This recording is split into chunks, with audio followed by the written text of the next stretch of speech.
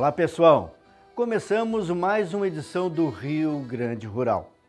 Um programa feito com muito carinho para você que gosta da gente do campo e já faz parte da nossa grande família. Nessa edição, você vai continuar revendo algumas reportagens que foram destaque em 2017, além da agenda de eventos e cotação dos produtos agropecuários. E na edição você vai ver os seguintes assuntos. Produção de madeira e pecuária no mesmo espaço. Em Agudo, uma propriedade se destaca no sistema silvipastoril. Em Vanini, outros destaque na produção de madeira. Uma família agrega valor ao produto. É um exemplo de sucessão familiar. O garotinho de 11 anos que está conquistando o país com seu sorriso, força e superação. Caminhos Poloneses, roteiro turístico no município de Áurea. Resgata a história e as trilhas dos imigrantes. No quadro Emater responde como tratar problemas fitossanitários na goiaba. E na receita da semana, pêssego trufado. Você é nosso convidado para assistir o Rio Grande Rural. Produzido pela Emater Ascar Gaúcha.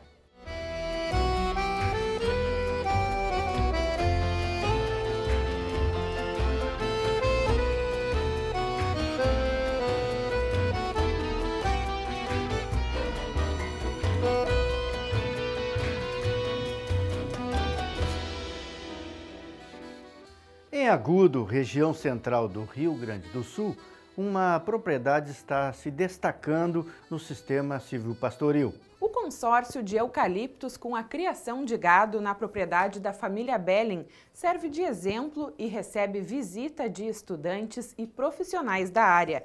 Veja na reportagem um pouco mais sobre esse trabalho.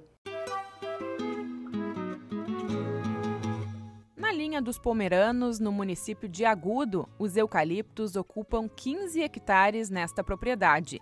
38 mil pés compõem florestas que podem chegar até 40 metros de altura. Seu Laurindo começou a plantar eucaliptos há mais de 10 anos na propriedade, através do sistema convencional. O sistema de silvicultura convencional, a propriedade né, vai produzir simplesmente madeira. Né? Espaçamento 3x3, 3x2, que é a produção que a gente tem na maior parte do, do, do Rio Grande do Sul e do Brasil. Então a gente sempre vinha plantando uns eucaliptos já, né? Só que ia plantando o sistema antigo, né? E, mas a, igual sempre dava lenha, né? Só que depois entrou uns programas, Florestar Agudo, e daí a gente começou a participar, e daí a gente começou a plantar um pouquinho mais longe, que ele cresce bem mais rápido também, né? Era um calipial antigo que eu, que eu tirei ele, era um calipial de, eu acho que 20, 20 e poucos anos, né? Ele foi feito três cortes aqui já. Desse mato aqui, saiu em torno de 2.500 metros de lenha já. Só que daí era o terceiro corte já. Daí tirei ele tudo e comecei o plantio novo, né? E daí ficou essas árvores maior deixadas, né? Se eu tinha deixado antes que a gente não sabia, a gente foi aprendendo com o tempo para deixar as árvores melhor, né? Hoje podia estar com uma fortuna mais ou menos boa. Pouco mais de um ano, seu Laurindo implantou o sistema silvipastoril, que integra a produção de madeira com a pecuária.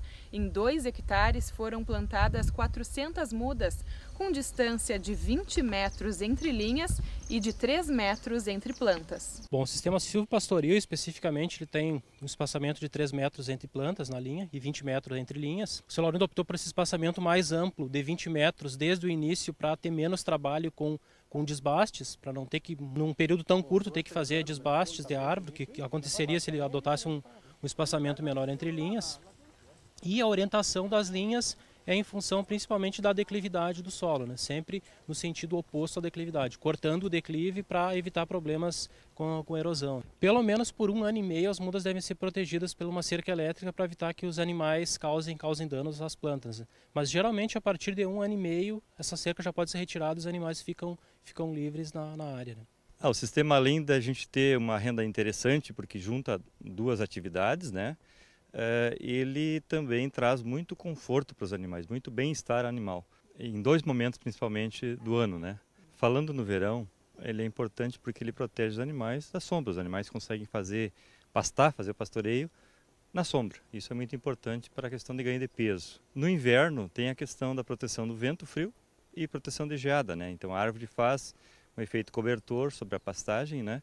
Isso faz com que a pastagem permaneça verde por grande parte do inverno, crescendo e nutrindo os animais, ou seja, então indiretamente a gente tem um período maior de pastagem é, para os animais é, se alimentarem também no período de inverno, falando-se em campo nativo.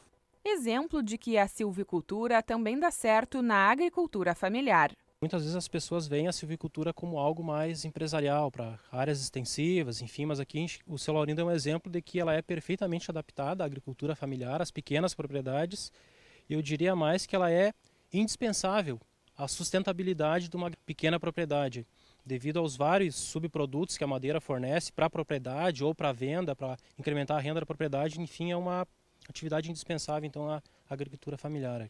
Além dos eucaliptos e da pecuária, o produtor também mantém a diversificação de culturas através da cultura da soja e de peixes. Sem funcionários, aos 71 anos, seu Laurindo toma conta de todo o trabalho. Então, e eu gosto de fazer, não é mais trabalho. Isso não é trabalho, isso é um lazer para mim. Porque nós passamos por muita dificuldade anos atrás. Quem salvou nós foi o eucalipto porque senão eu tinha que ter desfazido de um pedaço de terra já, antes, né? Então a gente conseguiu suportar vendendo calipo e plantando e vendendo. E hoje eu me sinto realizado, um agricultor realizado com tanta coisa. Eu disse, passei por tanta coisa que eu passei no meio de uma guerra. De cada lado tocaram em fogo e não me pegaram. E não desanimei nunca, estou indo e hoje me sinto um agricultor realizado.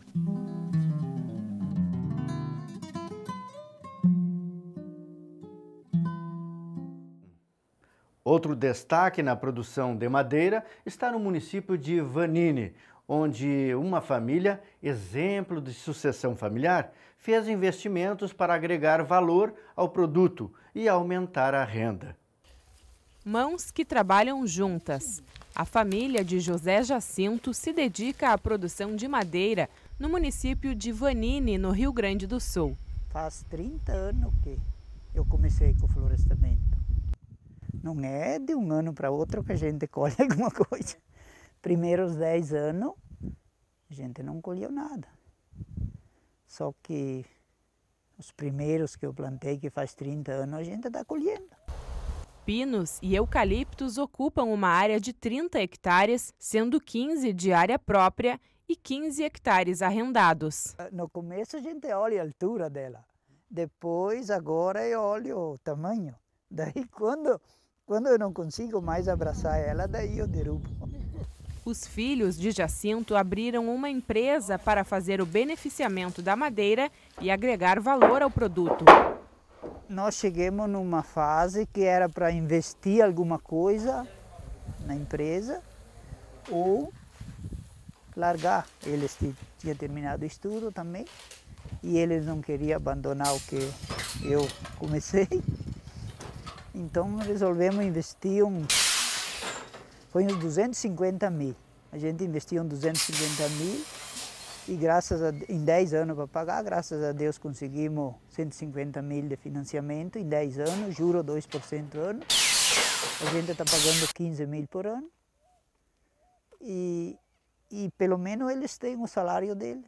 E esse ano, o ano passado, nós tínhamos dois empregados.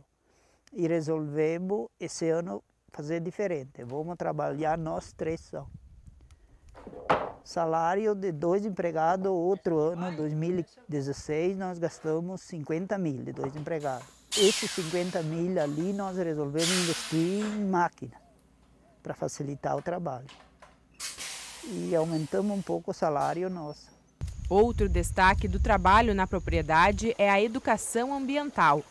Essas mudas nativas aqui faz 10 a 12 anos que foi plantado com as crianças da escola. Foi um projeto do cara da Imater que me incentivou. E, e já tem plantas que tá colher, dá para colher fruta. As primeiras já tem fruta madura. Sempre no dia 21 de setembro, dia da árvore, essas plantas é plantada com as crianças, um projeto da escola é, incentivo ao meio ambiente, preservação da água. Uma área de beira de sanga de preservação permanente também está sendo recuperada aos poucos junto com as crianças da escola do município. Cada vez que eu vou para a cidade, tem uma pessoa que me, me mostra com o dedo. O, o, esses dias uma me chamou a atenção porque uma criança puxou na, na, na, na camisa do pai dele e me, mostrava para mim: Olha lá aquele que me entregou a mudas que eu tenho lá em casa que está grande. Diz para ele que a minha muda está grande. Então tem, tem um lado positivo, né? Eu, o meu sonho era, era, era floresta. Graças a Deus eu tenho os dois filhos em casa, que eu acho que é o mais capital que a gente tem é a família trabalhando aqui, não, não precisar de emprego e tem o salário dele. Tem pessoas aqui que saem todos os dias com duas faculdades para ganhar menos de dois mil. Então a gente aqui tem um salário deles ali que dá para pagar isso aí e ainda sobrar alguma coisa para a empresa. A empresa é deles. Eu vou levar embora o máximo uma, uma planta, o máximo, e o resto fica aí.